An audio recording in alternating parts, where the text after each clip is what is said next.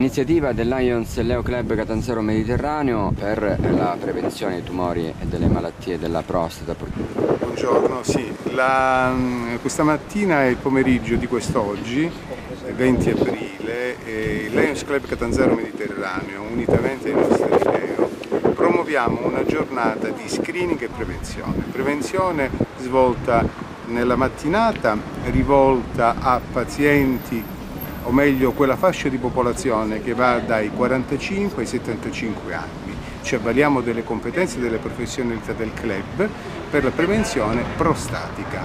E il nostro specialista del club è il dottor Massimo Felice Nisticò, che adesso ci illustrerà rapidamente qualcosina. Nel pomeriggio invece andremo avanti con screening per quanto riguarda il diabete e per quanto concerne il sistema eh, screening uditivo è rivolto quello del pomeriggio all'intera popolazione. Credo che questa iniziativa abbia trovato non solo il placet ma anche la soddisfazione da parte dei vostri associati, ma credo di tutta la popolazione, essendo, eh, come dicevamo prima, un argomento molto attuale e la prevenzione è fondamentale.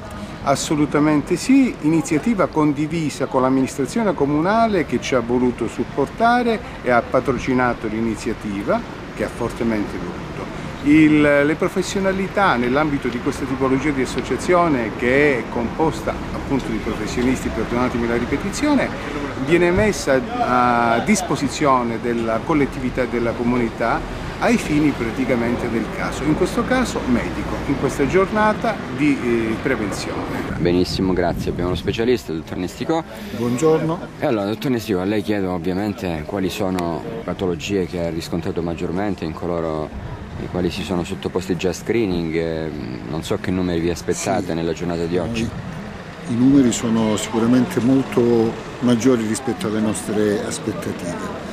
Eh, il tumore della prostata, ahimè, da qualche decennio a questa parte eh, è diventato il primo tumore per quanto riguarda il genere maschile a livello mondiale, avendo superato anche il tumore del polmone. E eh, negli ultimi anni si è visto anche un abbassamento dell'età media della diagnosi del tumore della prostata questa è una campagna di sensibilizzazione come viene fatta un po' in tutto il mondo, sensibilizzare alle, alla conoscenza di questo che può essere eh, un tumore addirittura guaribile oltre che curabile. L'importante è sempre nella prevenzione primaria poter fare un'acuta e un'attenta diagnosi.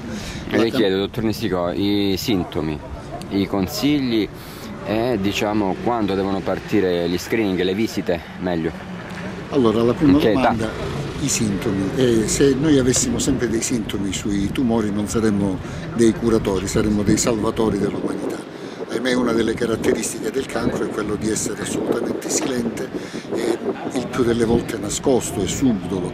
Per questo noi sensibilizziamo la popolazione, sia maschile, ovviamente per quanto riguarda il tumore della prostata, che per le altre patologie tumorali, ad una prevenzione primaria laddove non c'è nessuna familiarità per il tumore della prostata, suggeriamo dai 50 anni in su di fare una valutazione urologica, una visita ambulatoriale, un dosaggio del PSA che è uno eh, degli elementi di maggiore rilevanza, una valutazione eh, clinica della prostata e una valutazione ecografica. Laddove invece c'è una familiarità positiva, ad esempio un, il papà o un fratello eh, che hanno già avuto un tumore della prostata. Magari un campanello d'allarme deve partire un po' prima. Scende, sì, scende già intorno ai 40-45 mm. anni. Oggi abbiamo una, veramente una vasta gamma eh, per porre diagnosi di eh, esami che vengono fatti, fra cui anche la risonanza magnetica multiparametrica e quella che si chiama la biopsia di fusione o fusion biopsy e questo ci dà un cancer detection rate, cioè una percentuale di scoperta di tumore che raggiunge quasi il 98%. Consigli? I consigli sono solo quelli di farsi valutare in ambito specialistico, di seguire quelle che sono ormai le indicazioni date in tutto il mondo, una buona dieta, una buona igiene di vita e altri consigli particolari non se ne possono dare. Grazie.